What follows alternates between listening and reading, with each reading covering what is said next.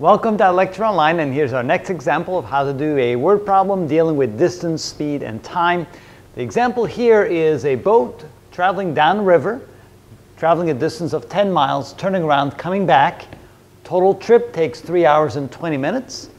One difficulty here is that the river is flowing downstream at 4 miles per hour. So, question is, how fast can the boat travel or move while in still water? Okay, how do we do that? Well, first of all, let's define the velocity of the boat downstream as uh, being equal to, well, let's see here. Before we do that, maybe what we need to do here is say, let x equal the speed in still water.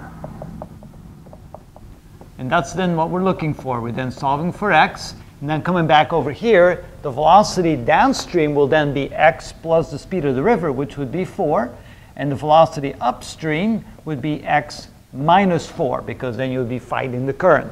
All right, so now we de define in terms of x how fast a boat can travel downstream, how fast a boat can travel upstream. If we now let the time downstream, so time downstream, let that equal to t1.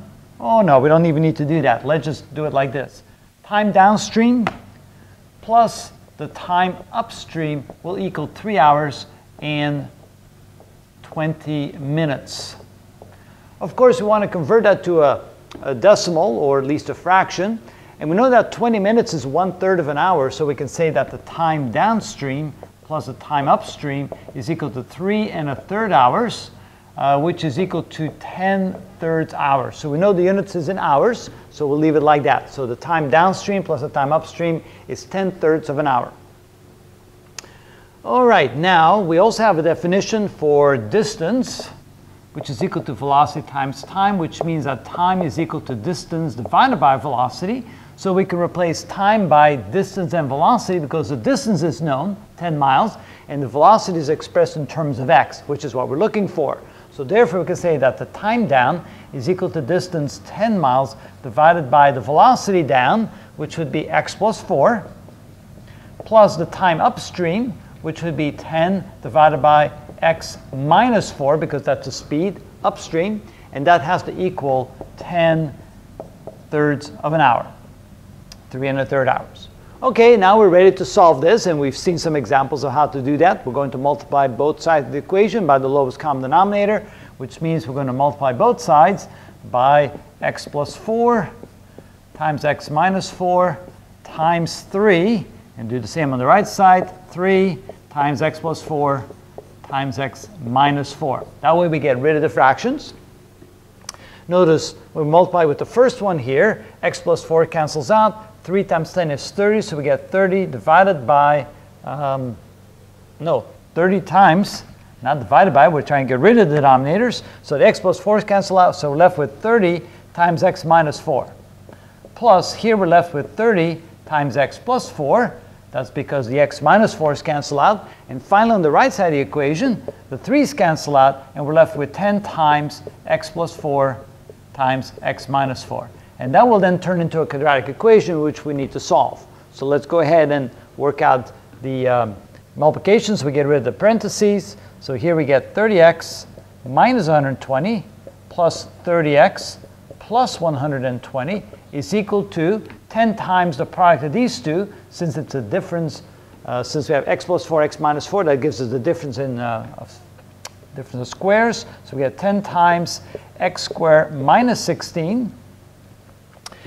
Here we see that we can get rid of 120s because it's plus and minus, so that's gone. And 30 plus 30 is 60x, so we end up with 60x is equal to 10x squared minus 160. And then moving everything over to one side, to, um, to, get, to write that in a quadratic equation form, 0 is equal to 10x squared minus 60x minus 160.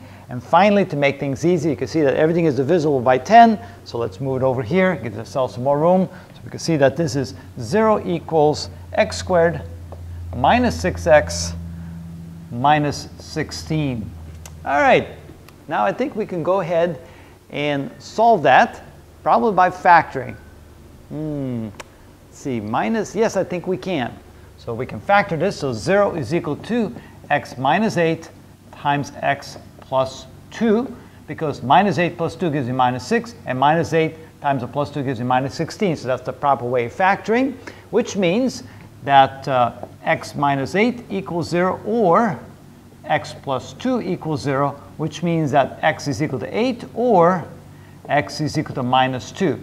Of course, x cannot be a minus 2. That would mean that the boat has negative speed. That doesn't work, so we can get rid of this possibility. And so the only possibility here is x equals 8, which means that 8 is, or 8 miles per hour is a speed in still water. 8 miles per hour, which means that when it travels downstream, it's 8 plus 4 or 12 miles per hour. When it travels upstream, it's 8 minus 4 or 4 miles per hour. So on the trip up, let's see if we have the right answers. We work this out. So on the trip up, velocity down, let's see, is equal to 12. Velocity up is equal to 8. 8 minus 4 is 4. That's wrong. Okay, so if he's traveling upstream, traveling 10 miles at 4 miles per hour, that means it takes two and a half hours to come upstream. And to travel downstream, he's traveling 10 miles at 12 miles per hour. Hmm. So here, let's find the time. The time is equal to 10 divided by 12. So the time is equal to uh, 5 divided by 6. And so 5 divided by 6, that would be 50 minutes because there's 60 minutes an hour. 5 sixths of 60 minutes is 50 minutes. That would be 50 minutes. So add 50 minutes to 2 and a half hours, which is 2 hours and 30 minutes.